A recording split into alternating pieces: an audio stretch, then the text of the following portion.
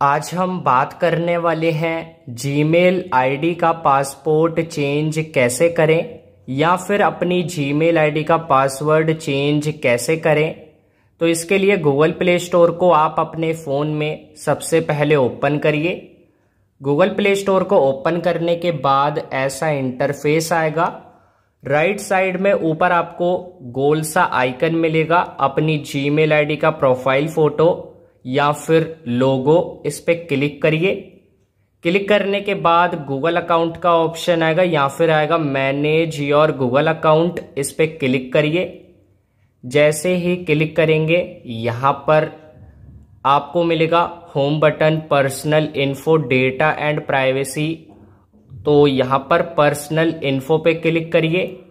Click करने के बाद नीचे स्क्रॉल करिए और आपको एक पासवर्ड का ऑप्शन मिलेगा इस टाइप से।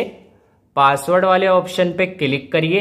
अब उसके बाद यहाँ पर एंटर योर पासवर्ड पे क्लिक करके अपनी जीमेल आईडी का पासवर्ड एंटर करिए, जो कि आप फ़िलहाल में यूज़ कर रहे हैं। उसके बाद नेक्स्ट पे क्लिक करेंगे और आपके सामने नेक्स्ट पेज आएगा इस टाइप से। अब उसके बाद न्यू पासवर्ड पे क्लिक करके अब जो पासवर्ड आप सेट करेंगे, वो यहाँ पर आप एंटर करिए, यानी अब यानी कि अपनी जीमेल आईडी का जो नया पासवर्ड आप सेट करेंगे, वो पासवर्ड यहाँ पर एंटर करिए। नया पासवर्ड क्रिएट करने के बाद नीचे स्क्रॉल करेंगे कंफर्म न्यू पासवर्ड पे क्लिक करिए। अब उसके बाद यहाँ पर जो ऊपर आपने पासवर्ड एंटर किया है सेम नीचे एंटर करेंगे।